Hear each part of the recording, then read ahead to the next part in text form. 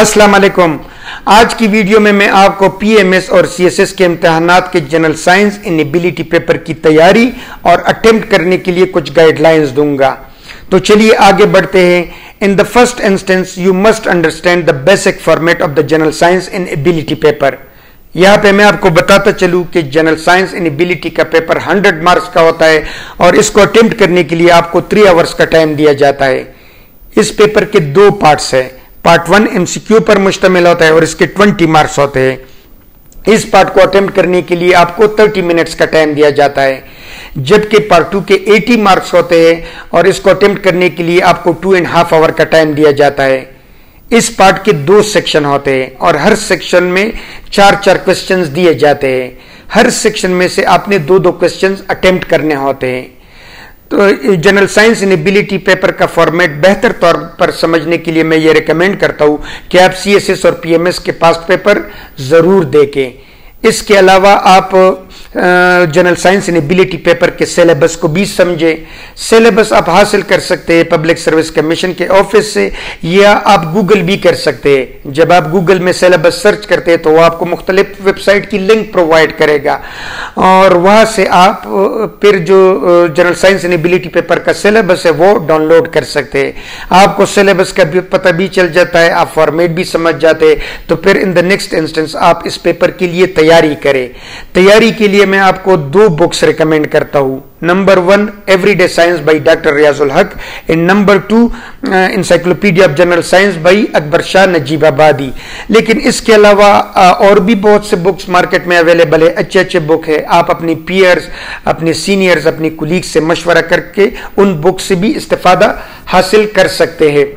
लेकिन आपको सिर्फ़ इस बुक पर फोकस नहीं करना चाहिए। आपको साइंस की दुनिया में जो रिसेंट डेवलपमेंट हो रही है, उनसे भी बाखबर होना चाहिए। और जो करंट अफेयर है साइंस के मुतलिक तो उसके बारे में भी आपको वेल वर्स होना चाहिए। और इसके लिए मैं ये रिकमेंड करता हूँ कि आप मुख्तलिफ़ साइंस मैगजीन या साइंस जो साइंस वेबसाइट है, उनको वहाँ पर जाए और वहाँ पे रिसेंट डेवलपमेंट के बारे में अपने आप को बाखबर रखें।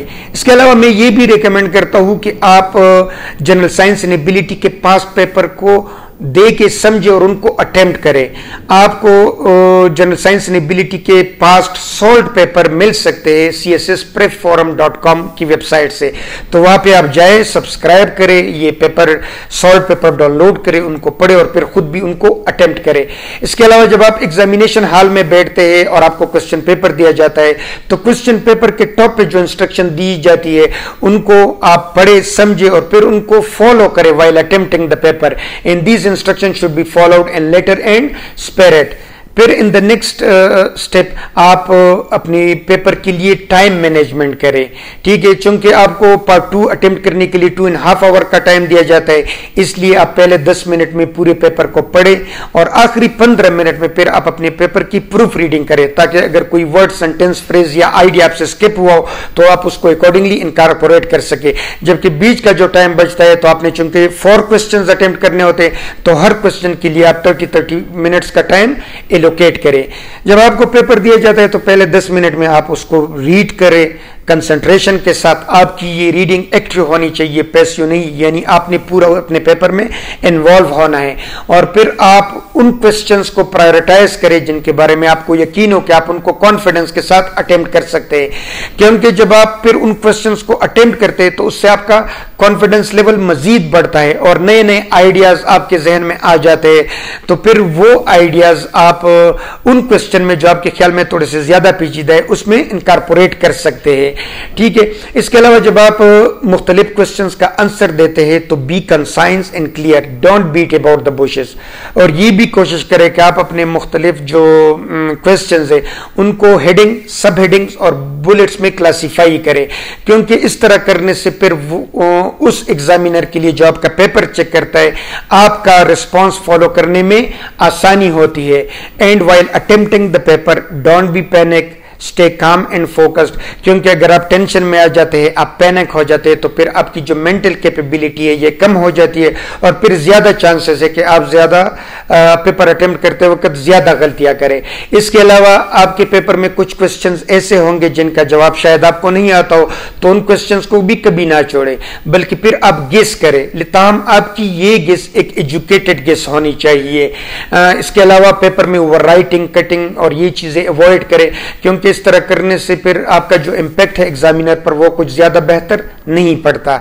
इसके अलावा ये पेपर तीन घंटे का होता है। आपने तीन घंटे मुसलसल लिखना होता है और थोड़ा सा वो माहौल टेंस भी होता है क्योंकि आपको टाइम की भी फ़िक्र होती है आपको ये भी फ़िक्र होती है कि, आपसे कोई क्वेश्चन स्किप ना हो जाए।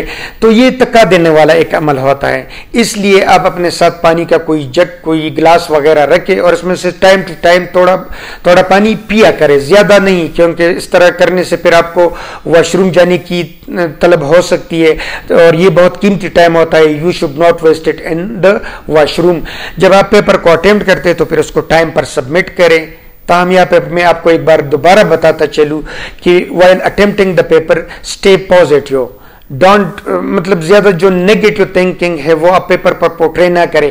जहाँ जहाँ पर नेगेटिविटी की पोर्ट्रे करने की ज़रूरत होती है तो उसके साथ साथ आप रिकमेंडेशन भी दे, ताकि नेगेटिविटी के साथ पॉजिटिविटी भी पोर्ट्रे हो जाए। तो उम्मीद है आप इन गाइडलाइन को समझ गए होंगे और आप इनको फॉलो करेंगे और सी एस एस और पी एम एस के इम्तहान में शानदार कामयाबी अपने नाम कर लेंगे। Thank you very much